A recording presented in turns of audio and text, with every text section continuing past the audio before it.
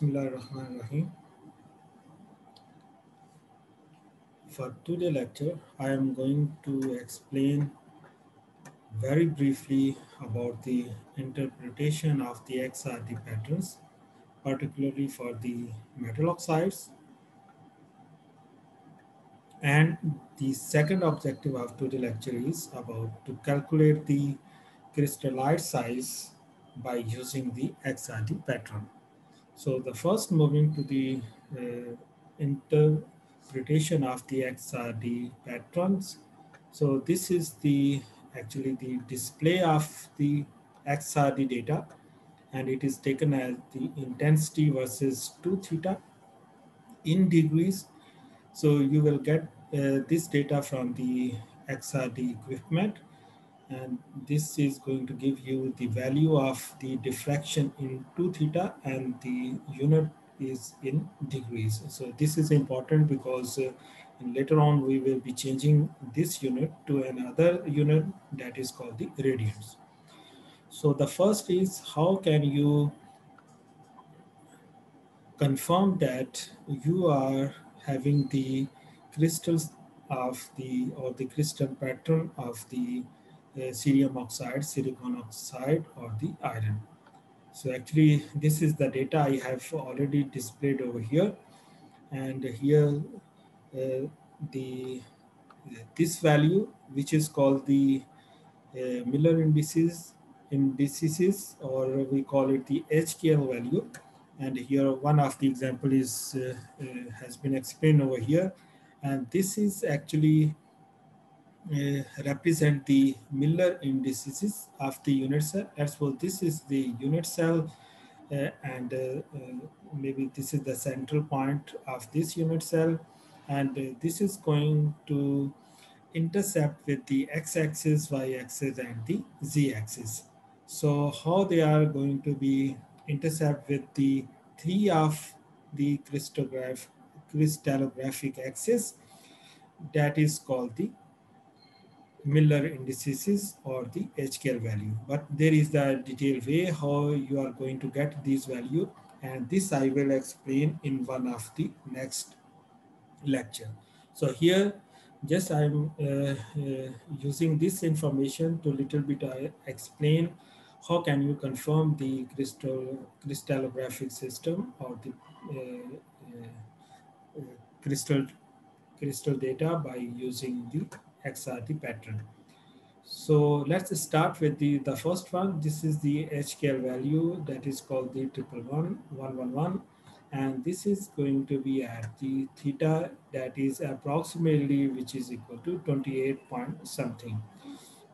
And similarly, you will get another peak at this point and at this 2 theta value, which is called the 200 or uh, 004 and so on and here now you can uh, compare the two theta value at the specific HKL value with the reference data which you can get from any of the published source.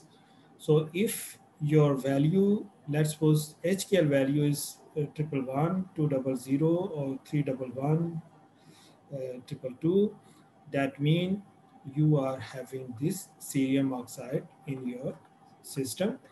And uh, these are because uh, these are the values which are relating to the cerium oxide. Similarly these are uh, related to the iron. And somehow these very few are uh, related to the silicon oxide. And uh, this i am uh, going to just the i am going to matching these values with the reference data. So the reference value are 2 theta and the HKL value. And if this 2 theta at this HK value appears, that means you are having the cerium oxide. And similarly, you can go for the other of the HKL value at particularly 2 theta degrees. So this is all about the interpretation of the XRD patterns.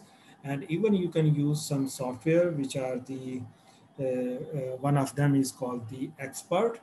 You can use the X'Pert to uh, to plot this data and then interpret the XRD pattern and identify which of the metal oxides or the crystal system you are having in your sample. This is one of the paper, my own paper with my students. So you can further go through the paper to further uh, get the explanation of this interpretation of the XRD pattern. Second and most important objective of today's lecture is about to calculate the crystallite size by using the Scherrer equation. In one of the lecture, uh, uh, I have already explained the uh, interplanar distance by using the Bragg equation. So here I'm going to explain the crystallite size because in nanomaterials we used to calculate the crystallite size and this is one of the one way to calculate the crystallite size uh, by using the Scherrer equation out of the XRD pattern. So here K is the actually the shape factor and it is uh, the constant value which is 0.98 and this is specifically for the spherical shape particle. And this is going to vary depending on the shape of the particle. If your shape is spherical then you can use 0.98 and here lambda is the wavelength of the x-rays being bombarded which are you are using as x-ray source. And here i'm going to use 0.154 nanometer or 1.54 angstrom this is for the copper. Uh, as a source of x-ray you are using uh, to get the this crystallographic pattern. And uh, of course this one is the beta. Beta is the full width at half maximum. And in short you can call fwhm of the peaks obtained at particular angle.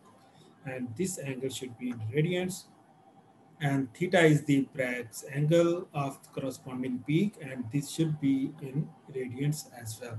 And of course d is the crystallite size. You are going to calculate the crystallite size by using this very simple formula. And here these two variable are important theta in radians and uh, fwhm in radians so uh, step by step i am first discussing uh, how to get the value of the beta and the theta. And then we will calculate the crystallized size by putting the values. And uh, remember, uh, this k and lambda will remain constant. And here 0.98 multiplied by 0.5154 that would be equal to 0 0.15092 in nanometer that would remain constant. Only this is going to be variable so for to uh, calculate this whole factor beta cos theta theta and beta are important. Let's move first how to determine the full width at half maximum, which is called the FWHM. And this is the one of the peak I am going to take as a reference. And this is the same. You can take any one of the peak over here. So let's suppose this is the triple one, one, one, one. And uh, just to take as a reference. Later on, you can calculate for the rest of the peaks as well. So for this, this is the baseline, this is important, and this is the maximum intensity of this peak because you have plotted the intensity versus the angle, that is the 2 theta in degrees. So this is the maximum length or the maximum intensity of this peak. And uh, if you take a half of this, that would be here and uh, this would be the uh, half of the intensity of this one peak. So that's why this is called the, this is the full width at which point? At the half of the this maximum point. That's why this is called the full width at half maximum. And another example is shown over here because is the scale is mentioned over here starting from the zero. And uh, let's suppose this is the maximum value. And uh, when you take a half, half would be over here. And you can take a, uh, you can use a scale to calculate the this length. And uh, uh, also you can use this scale to calculate the half of the this length. Let's suppose this is the total 10 centimeter and uh, when you divide to 2 it will be 5 centimeter and 5 centimeter will be here. And uh, total length uh, or total intensity of this peak is here. So this is the actually the uh, uh, width of this peak and this width of this peak is the uh, half of this maximum intensity. That's why this is called the full width at half maximum. So how can you get this value? So uh, this is the first part. This is the second part. You can extrapolate to the x-axis because you are getting the value of the 2 theta over here. So uh, scale is given over here so this is the uh, value starting from here. This is the ending value. You just subtract x2 minus x1. That will give you the value of the FWHM. And similarly, it is uh, explained over here. This is the total length and uh, this is the uh, intensity at half. So you would get the value of the full width at half maximum over here and you can get the value in the 2 theta. so this is the uh, this is the way how to calculate the value of the beta or full width at half maximum. So remember the value would be in 2 theta degrees. so you will be using and you have to convert into the radians and I will explain later. So this is the uh, the other important conversion because here you are uh, using the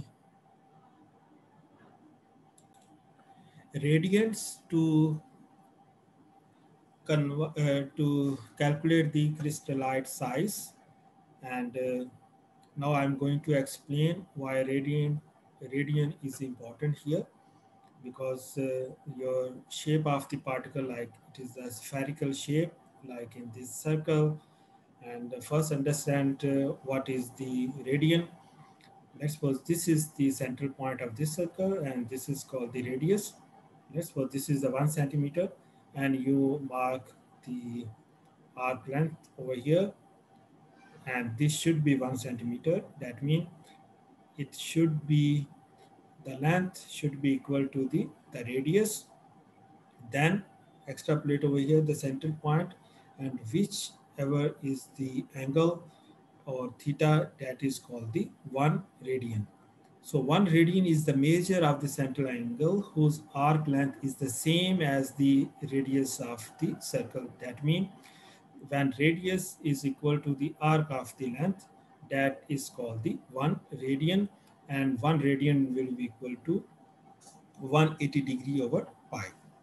And how you can get this value? This is explained over here. If you divide this circle into four parts and uh, you know the circumference of the circle is 2 pi r.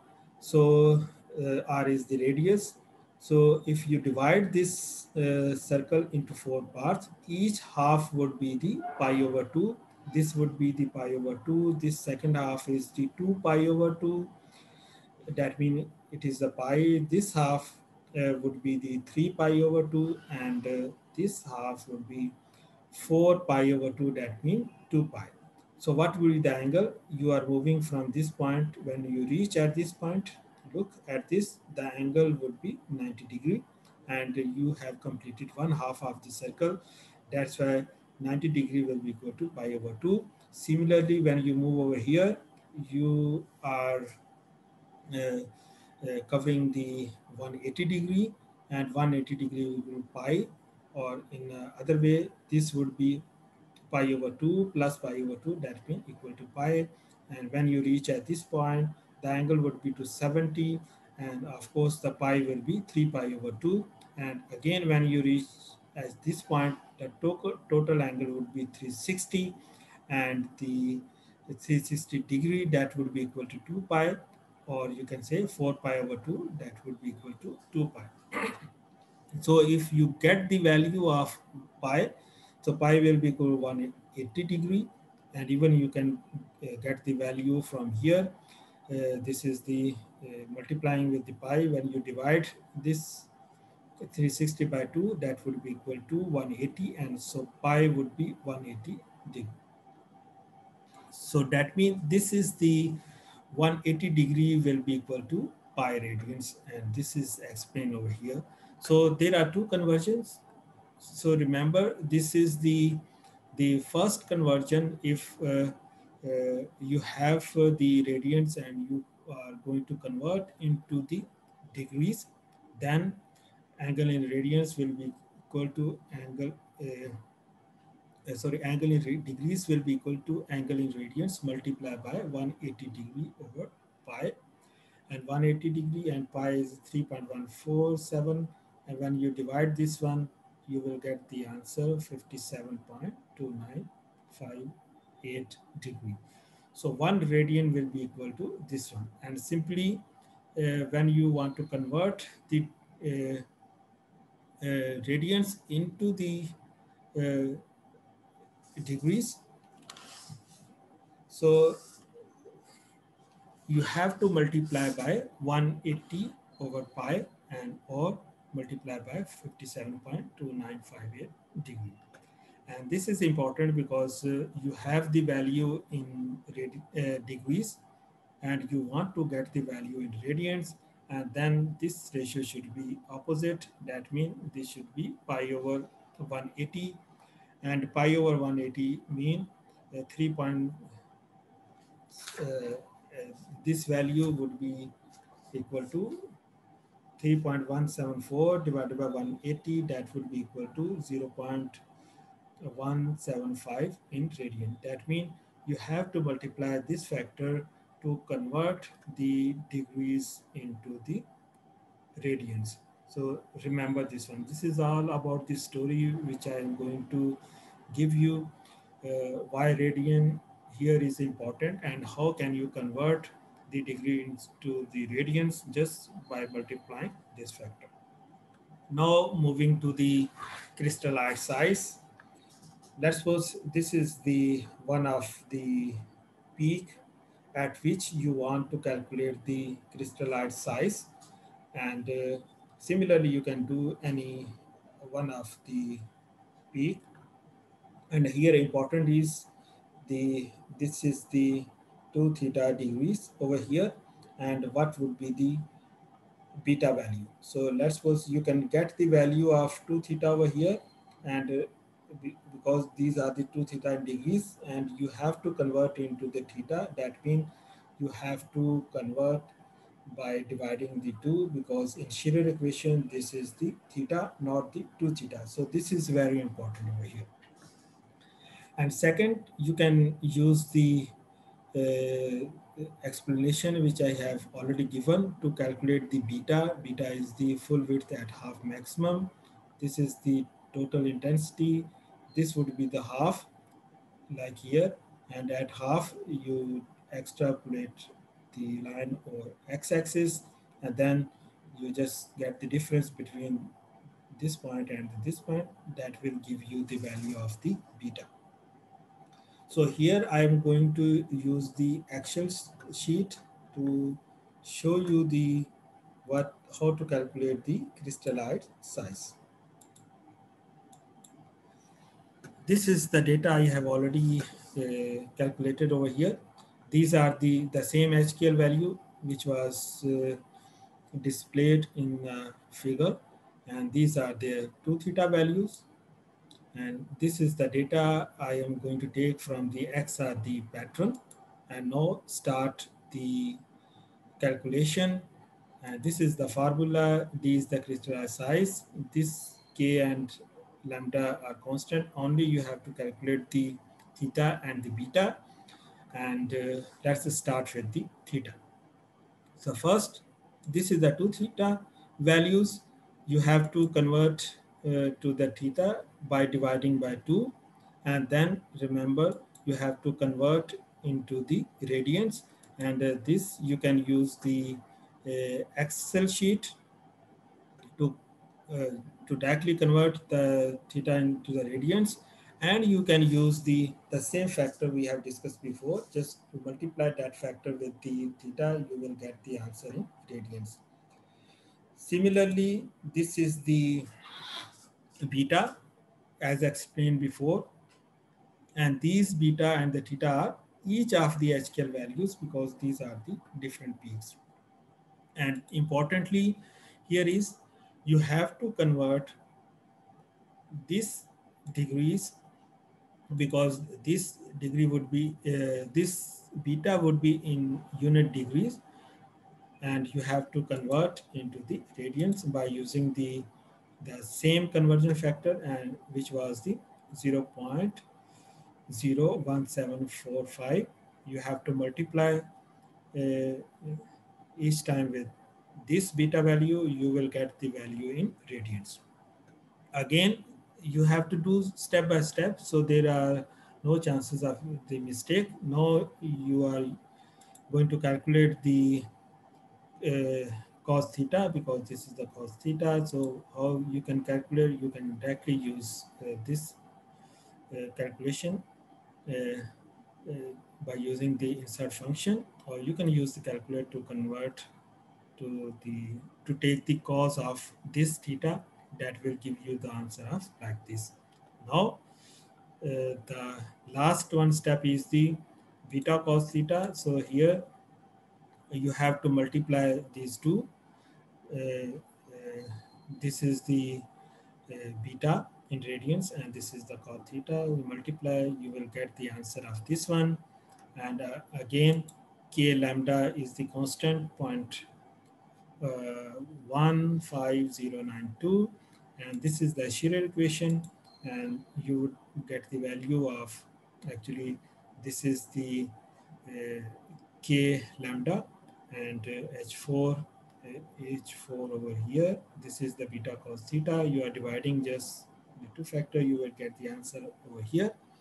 So in a similar way you have to calculate all these crystal size at all of the HKL values. So these will give you the individual crystal size at these peaks. So if I am getting the 6.45 nanometer, the answer would be nanometer because you are using the lambda in nanometer. So that will directly give you the answer of uh, uh, this crystal size in the nanometer. So how can you call this? Uh, this is the 6.45 this is not the uh, particle size of the whole uh, uh, particle or the crystal. This is the crystallized size of the of this phase that is the HKL value at this theta. So you can call the crystallized size of uh, triple one at 2 theta value of 28.27 is 6.45 and in similar way you can calculate the crystal size or at all of the HKL values and at the end you can take the average of the crystallized size of all these individual HKL values. So that is the 9.60. So you may take uh, this function to take the average or you can calculate manually by using the calculator. So average crystal size is uh, 9.60 uh, for this crystal system. And in one of the uh, next video, I'm going to teach you how to calculate the crystallite size, the average crystal size more accurately by using the Williamson Hall equation. So at this point, I'm going to end this lecture and see you in next lecture.